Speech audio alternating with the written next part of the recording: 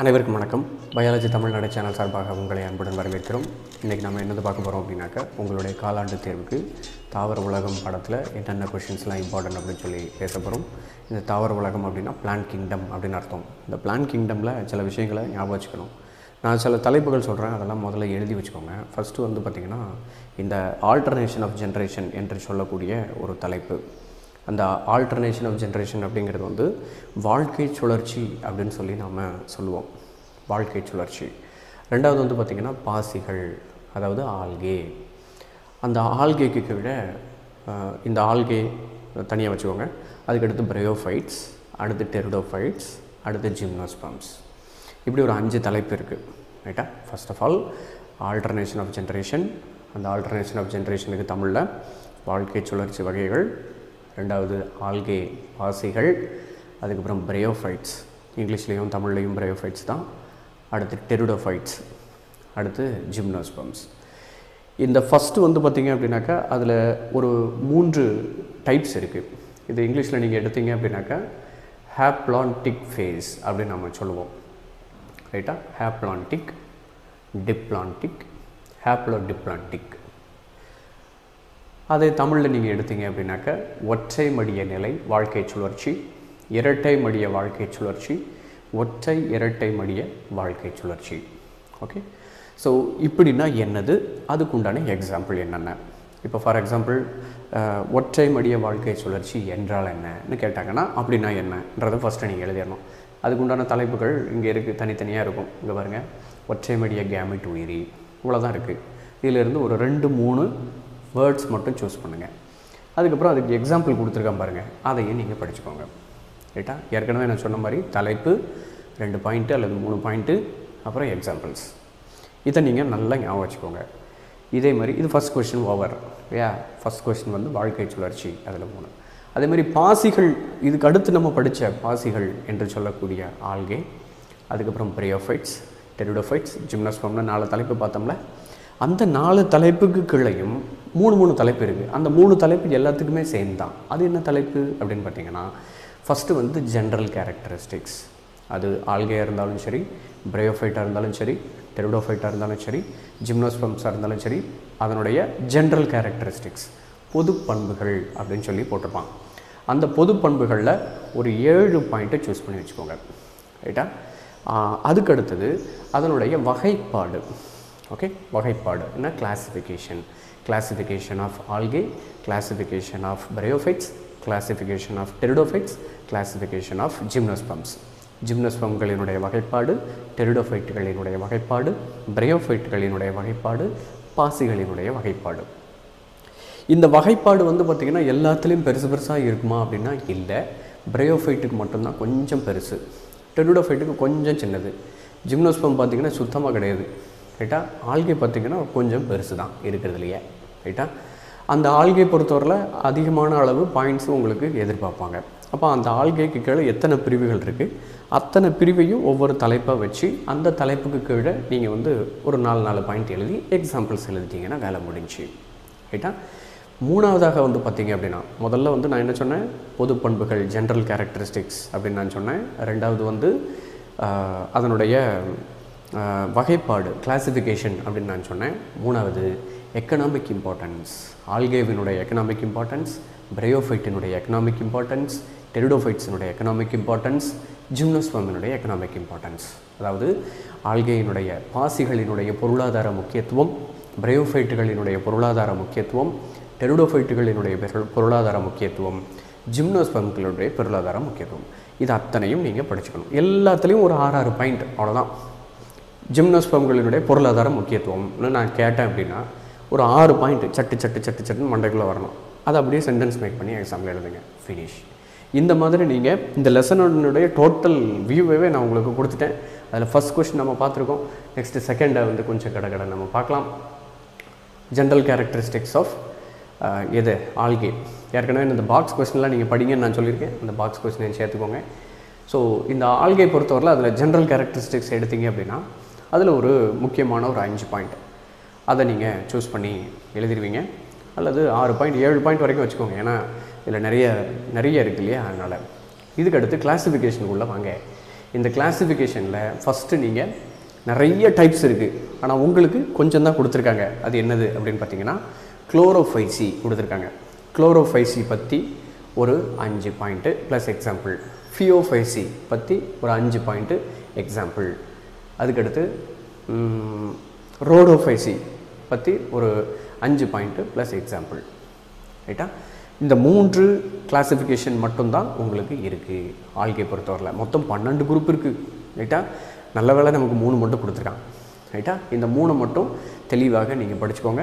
ஒவ்வொரு point Chlorophyceae Rhodophyceae ஃபியோஃபைசி குளோரோஃபைசினா green algae ரோடோஃபைசினா ரெட் ஆல்கே ஃபியோஃபைசினா ஃபியோஃபைசினா ப்ரௌன் ஆல்கே ரைட்டா ஸோ இதுக்குள்ளே இருக்கக்கூடிய ஒரு அஞ்சாறு பாயிண்ட்டு ப்ளஸ் எக்ஸாம்பிள்ஸை தெளிவாக நீங்கள் படிச்சுக்கோங்க. நெக்ஸ்ட் வந்து எக்கனாமிக் இம்பார்ட்டன்ஸ் பொறுத்தவரையில் இதில் கச்சா மச்சான் இருக்குது எனி ஃபைவ் பாயிண்ட்ஸ் நீங்கள் சூஸ் பண்ணுங்கள் ஆஸ் யூஷுவல் அந்த ஃபைவ் பாயிண்ட்ஸை மட்டும் எழுதுங்க. கண்டிப்பாக ஃபுல் மார்க் கிடைக்கும். நெக்ஸ்ட்டு வந்து இந்த ஆரஞ்சு பாக்ஸ் ஏற்கனவே நான் சொன்னேன்.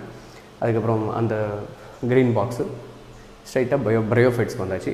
பிரயோஃபைட்ஸ் பொறுத்தவரையில் ஏற்கனவே நான் சொன்ன மாதிரி ஜென்ரல் கேரக்டரிஸ்டிக் ஃபியூச்சர் பொது பண்புகள் இருக்கா? பொது பண்புகளில் அஞ்சு பாயிண்ட்டை சூஸ் பண்ணுங்கள் அந்த அஞ்சையும் தெளிவாக படித்து வச்சுக்கோங்க. அடுத்து இதனுடைய கிளாசிஃபிகேஷன் பார்த்தீங்களா? எவ்வளோ சின்னதாக இருக்குன்னு. இவ்வளோதான் பிரயோஃபைட்ஸினுடைய கிளாசிஃபிகேஷன் ஹெப்பாட்டிகாப்சிடா ஆந்தசரடாப்சிடா பிரயோப்சிடா இது எழுத்துக்கூட்டி வாசிச்சிங்கன்னா தெரியும் ரைட்டா எழுத்துக்கூட்டி வாசிக்கிறதுக்கு நம்ம சோம்பேறித்தனப்பட்டோம்னா தான் வந்து பயாலஜியில் இருக்கக்கூடிய டெக்னாலஜிலாம் பயங்கர கஷ்டம் சார். இப்படின்னு சொல்லி சொல்லுவீங்க ரைட்டா அப்படி சொல்லாமல் ஆந்தோ சேரோ டாப் சீடா அப்படின்னு வாசிச்சிங்கன்னா ஆந்தசரோ டாப் சீடா இப்படின்னு சேர்த்து நீங்கள் சொல்லி பழகிட்டிங்கன்னா எல்லாமே சரியாக வந்துடும் நெக்ஸ்ட் வந்து economic importance economic importance of bryophytes as usual நான் சொன்ன மாதிரி அதே மூணு தலைப்பு இதே பிரயோஃபைட்ஸ்லேயும் வந்துடுச்சு. இதில் எக்கனாமிக் இம்பார்ட்டன்ஸில் ஒரு ஆறு பாயிண்ட்டை சூஸ் பண்ணிக்கோங்க. நெக்ஸ்ட்டு டெருடோஃபைட்ஸ்க்கு வந்தாச்சு. இந்த டெருடோஃபைட்ஸில் பார்த்தீங்கன்னா இதுலேயுமே வந்து general characteristics classification economic importance நம்ம பார்க்கணும். ஒவ்வொன்றுத்துலையும் அஞ்சஞ்சு பாயிண்ட் நடுவில் இதில் இன்னொரு முக்கியமான ஒரு தலைப்பு வரும் பாருங்கள் அந்த தலைப்பு தான் இந்த ஸ்டீல் ஸ்டீலின் வகைகள் அப்படின்னு சொல்லிட்டு. ஸ்டீல் அப்படின்னா வேஸ்குலர் பண்டில் உள்ளுக்கு வந்து ஒரு ஸ்டெம் இருக்குது அப்படின்னு வச்சுக்கோங்களேன். அந்த ஸ்டெம்முக்கு நடுப்பகுதி இருக்குல்ல அதுக்கு பேர் ஸ்டீல் அப்படிம்பாங்க ரைட்டா? Central cylinder of vascular tissues ரைட்டா? வேஸ்குலர் திசுக்கள் உட்பட நடுப்பகுதியில் இருக்கக்கூடிய உருளை வடிவமான பகுதி தான் ஸ்டீல் என்று அழைக்கப்படுகிறது. அவ்வளோதான் ஸ்டீல்னால் என்னென்னு தெரிஞ்சு வச்சா அதுக்கப்புறம் டைப்ஸு. இந்த டைப்ஸ் பொறுத்தவரையில் படத்தை கொடுத்து கொஷின் கேட்பாங்கங்க. ரைட்டா சில சமயம் என்ன ஸ்டைலில் நீங்கள் கண்டுபிடிக்கணும். இதில் இதுலேயும் அதே மாதிரி தலைப்பு விளக்கம் எடுத்துக்காட்டு. அதாவது டைட்டில் எக்ஸ்ப்ளனேஷன் எக்ஸாம்பிள் இப்படின்னு சொல்லிட்டு மூணாக பிடிச்சிருக்கு இப்போ பிளக்டோ ஸ்டீல் இருக்குன்னு வச்சுக்கோங்க. பிளக்டோ ஸ்டீல்னால் என்னது?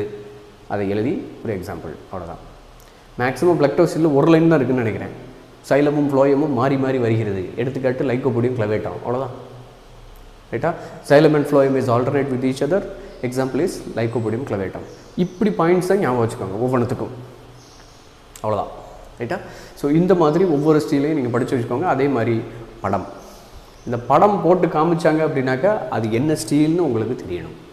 அவ்வளோதான் ரைட்டா ஸோ ஸ்டீல் பொறுத்தவரையில் நீங்கள் அவ்வளோதான் நீங்கள் முயற்சி எடுக்க போகிறீங்க எக்கனாமிக் இம்பார்ட்டன்ஸ் ஆஸ் யூஷுவல் டெரிடோஃபைட்டுக்கு நான் சொன்ன மாதிரி ஒரு அஞ்சு முக்கியமான பாயிண்ட்ஸை சூஸ் பண்ணிக்கோங்க. Straight away we can pass on to the next title that is gymnosperms இந்த ஜிம்னோஸ்பம்ஸ் பொறுத்தவரையில் அதில் ஜென்ரல் கேரக்டரிஸ்டிக்ஸ் அதே மாதிரி அதுலேயும் கிளாசிஃபிகேஷன் எக்கனாமிக் இம்பார்ட்டன்ஸ் இருக்குது ஸோ இதுலேயுமே ஜென்ரல் கேரக்டரிஸ்டிக்ஸ் பொது பண்புகளில் ஒரு அஞ்சு பாயிண்ட் சூஸ் பண்ணிக்கோங்க அல்லது ஆறு பாயிண்ட் சூஸ் பண்ணிக்கோங்க. அதுக்கப்புறம் இதில் கிளாஸிஃபிகேஷன் கொடுக்கல ஜிம்னோஸ்பம்ஸ் பொறுத்தவரையில். கொடுக்கலன்னு தான் நினைக்கிறேன். கொடுக்கல. சரியா? ஸோ அதனால் ஜிம்னோஸ்பம் கிளாஸிஃபிகேஷனை விட்டுருக்கேன் ஆனால் அதுக்கு பதிலாக இன்னொரு கேள்வி இருக்குது ஜிம்னோஸ்பம்ஸுக்கும் ஆன்ஜியோஸ்பம்ஸுக்கும் நடுவில் இருக்கக்கூடிய கம்பேரிசன் ரைட்டா இது வந்து difference differences between gymnosperms and angiosperms gymnosperm அப்படின்னா மூடு விதை தாவரங்கள். ஆன்ஜியோஸ்பம் அப்படின்னா சாரி ஜிம்னோஸ்பம் அப்படின்னா திறந்த விதை தாவரங்கள். ஆன்ஜியோஸ்பம் அப்படின்னா மூடு விதை தாவரங்கள் ரைட்டா அது வந்து டிஃப்ரென்ஸ் ஆச்சா? இது வந்து பார்த்திங்க அப்படின்னா ஒற்றுமைகள் சிமிலாரிட்டிஸ் எந்தெந்த கேரக்டர்லாம் ஜிம்னோஸ்பம்லையும் இருக்கும் டெருடோஃபைட்லையும் இருக்கும் அப்படின்னு சொல்லிட்டு ஒரு அஞ்சு பாயிண்ட் இதில் சூஸ் பண்ணி வச்சுக்கோங்க. அப்போ ஒற்றுமைகள் தனியாக ஒரு அஞ்சு பாயிண்ட்டு வேற்றுமைகள் தனியாக ஒரு அஞ்சு பாயிண்ட்டு ஞாபகம் வச்சுக்கோங்க. அதுக்கடுத்து எக்கனாமிக் இம்பார்ட்டன்ஸ் ஏற்கனவே நான் சொன்ன மாதிரி ஒரு அஞ்சு முக்கியமான பாயிண்ட்ஸை சூஸ் பண்ணிக்கோங்க. அப்போ ஜிம்னோஸ்பம்ஸ்க்கு மட்டும் நமக்கு கிளாசிஃபிகேஷன் வகைப்பாடு கிடையாது. ஆனால் அதுக்கு பதிலாக ஆன்ஜியோஸ்பெர்ம்களினுடைய ஆன்ஜியோஸ்பெர்ம்கள் மற்றும் ஜிம்னோஸ்பெர்ம்களினுடைய ஒற்றுமை வேற்றுமைகள் தனித்தனி கேள்விகளாக நீங்கள் படிச்சுக்கோங்க. அப்போ மேக்ஸிமம் இந்த செகண்ட் லெசனில் இருக்கக்கூடிய தலைப்புகள் நாம் படிச்சிருக்கிறோம். ஆன்ஜியோஸ்பம்ஸ் பற்றியும் கொஞ்சம் கொடுத்துருக்குறான். ரைட் குட் இதை நம்ம படிச்சிடலாம். ஆனால் அதுக்கு முன்னாடி இந்த பேலியோ பாட்னி பேலியோ பாட்னி அப்படின்னா வந்து அந்த காலத்தில் வந்து இருந்துட்டு போயிருந்திருக்கும். இந்த காலத்தில் எக்ஸ்டிங்க்ட் ஆகிருக்கும் முழுமையாக இந்த உலகத்திலிருந்து அழிந்த தாவரங்கள். அதை பற்றி படிக்கிற டிபார்ட்மெண்ட்டு தான் பேலியோ பாட்னி அப்படின்னு மைண்டில் வச்சு எழுதிருங்க. அதுக்கப்புறம் அதுக்கு சில எக்ஸாம்பிள்ஸ் கொடுத்துருக்காங்க. எந்தெந்த ஊரில் எந்தெந்த பிளான்ட்லாம் கண்டுபிடிச்சாங்க அப்படின்னு சொல்லிட்டு.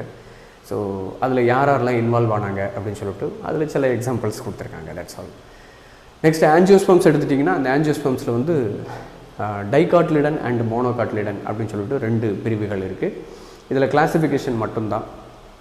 ரைட்டா மார்ஃபாலஜிக்கல் ஃபீச்சர் டைகாட்லிடனுடைய ஸ்ட்ரக்சர் டைகாட்லிடனுடைய அனாட்டமிக்கல் ஃபீச்சர் மோனோகாட்லிடனுடைய புறத்தோற்ற பண்புகள் மோனோ காட்லிடன்ஸ் ஒருவித்தலை தாவரங்களினுடைய உள்ளமைப்பியல் பண்புகள். சரியா? ஆஞ்சியோஸ்பெர்ம் அப்படிங்கிறது வந்து மூடு விதை தாவரங்கள். இந்த ஆன்ஜியோஸ்பெர்ம்கள்னால் என்னது? அதனுடைய ஜென்ரல் கேரக்டரிஸ்டிக்ஸ் நாம் வந்து இங்கே போட்டிருக்கோம். இதிலிருந்து ஒரு ரெண்டு அல்லது மூணு பாயிண்ட் மட்டும் நீங்கள் சூஸ் பண்ணிக்கோங்க. ஆன்ஜியோஸ்பெர்ம்கள் மூடு விதை தாவரங்களில் மூணு அல்லது நாலு பாயிண்ட்டு இம்பார்ட்டண்ட்டாக இருக்கிறது. ஸ்டோர் பண்ணிக்கோங்க. அடுத்து சேலட் ஃபீச்சர்ஸ் எடுத்தீங்க அப்படின்னாக்க ஆ இங்கே தான் இருக்குது சாரி ஆன்ஜியோஸ்பெர்ம்ஸ் பற்றி அழகான ஒரு அஞ்சு பாயிண்ட்டுகள் கொடுத்துருக்காங்க. இந்த அஞ்சு பாயிண்ட்டையும் நீங்கள் மனப்பாடம் பண்ணிக்கோங்க. அதுக்கு அடுத்தது டிஃப்ரென்ஷியேட் சாரி அது என்னது? கிளாஸிஃபிகேஷன் வகைப்பாடு அப்படின்னு நம்ம சொல்கிறோம்ல அதில் டைகாட்லிடன்ஸ் அண்ட் மோனோகாட்லிடன்ஸ் டைகாட்லிடன்ஸ் இதெல்லாம் ரொம்ப கஷ்டம் அப்படின்னு நீங்கள் நினைக்காதீங்க. இப்போ மார்ஃபாலஜிக்கல் ஃபியூச்சரில் இவ்வளோ இருக்குது அப்படின்லாம் கிடையாது. மார்ஃபாலஜிக்கல் ஃபியூச்சரில் ரெட்டிகுலேட் வெனேஷன் இருக்குது ரெண்டு காட்லிடன் இருக்குது ஏப்பா டைகாட்லிடனில் ரெண்டு காட்லிடன் இருக்குன்னு எழுத முடியாதா? எவ்வளோ ஈஸியாக இருக்குது பாருங்கள் நம்ம உட்காந்து படிக்கிறது இல்லை இது வரைக்கும் படித்து பார்த்தீங்கன்னா அது ஈஸி தான் ரைட்டா ப்ரைமரி ரேடிக்கல் வந்து டேப் ரூட்டாக டெவலப் ஆகுது. அடுத்து ஃப்ளவர்ஸ் வந்து டெட்ராமீரஸ் அல்லது பென்டாமீரஸ் இப்படின்னா என்ன அப்படிங்கிறதெல்லாம் நீங்கள் மார்ஃபாலஜி லெசனில் படிச்சிருப்பீங்க. ஸோ இந்த மாதிரி வந்து ஒரு அஞ்சு பாயிண்ட்டு டைகாட் லிடன்ஸு அதில் புறத்தோற்ற பண்புகள் அடுத்து உள்ளமைப்பியல் பண்புகள் அடுத்து இரு ஒருவித்தலை தாவரங்களினுடைய புறத்தோற்ற பண்புகள் மற்றும் உள்ளமைப்பியல் பண்புகள் ஸோ அப்போது இந்த லெசனில் இருக்கக்கூடிய சில இம்பார்ட்டன்ட் கொஷின்ஸ்லாம் எப்படி படிக்கணும் அப்படின்னு சொல்லிட்டு நீங்கள் தெரிஞ்சிருந்திருப்பீங்க. மேலும் பல தகவல்களை தெரிந்து கொள்வதற்கு பயாலஜி தமிழ்நாடு சேனலை சப்ஸ்கிரைப் பண்ணுங்கள் நன்றி வணக்கம். பலருக்கு சேவை செஞ்ச நீயும் ஒரு ஹீரோடா. ஒரு கைப்பிடி சோறானாலும் ஷேர் செஞ்சு பாருடா.